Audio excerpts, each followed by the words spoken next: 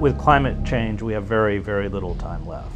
And the longer we leave uh, our uh, relationship to the environment in the hands of corporations like ExxonMobil or BP or those who are building the XL pipeline or exploiting the tar sands, the faster we barrel towards collective suicide.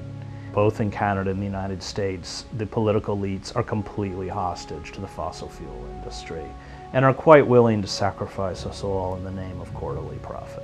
We have betrayed our children. Even if we stopped all carbon emissions immediately, we would not free ourselves from the effects of climate change.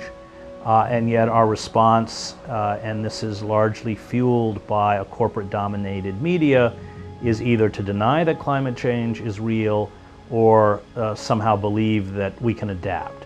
Uh, both are self-delusional. The question is, will the collapse of globalization come first? Or will the collapse of the ecosystem come first? Or maybe they'll both come together. But that's where we're headed towards.